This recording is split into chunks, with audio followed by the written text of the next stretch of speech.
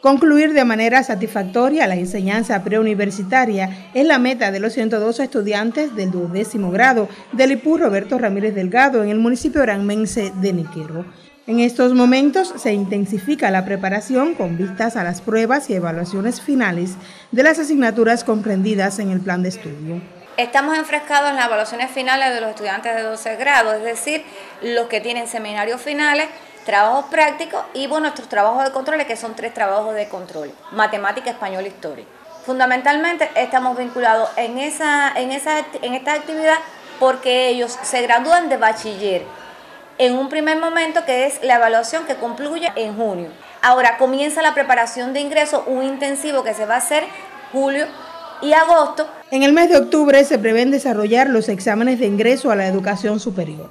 Alrededor de 65 estudiantes del IPU Roberto Ramírez Delgado se presentarán a las pruebas de ingreso, mientras 15 estudiantes tienen carreras otorgadas, entre ellas periodismo, física nuclear, carreras pedagógicas y de corte agropecuario. Esa preparación intensiva está apoyada por los profesores de sus asignaturas y otros que forman parte de la brigada pedagógica que de la forma en que ellos atienden la actividad individualizada, es decir, los, diferentes contenidos en los que ellos pueden tener dificultad, esos profesores apoyan esos conceptos, esos contenidos que en ellos que tienen dificultades, porque cada, cada estudiante tiene una caracterización en su diagnóstico y se dice qué elemento del conocimiento tiene más afectado. Entonces, a partir de ahí, esos, esos profesores se centran en esas principales dificultades que tienen los estudiantes y nos ayudan a realizar un mejor trabajo. Históricamente, el IPU Roberto Ramírez Delgado obtiene buenos resultados en las pruebas de ingreso, teniendo como premisa la calidad del claustro de profesores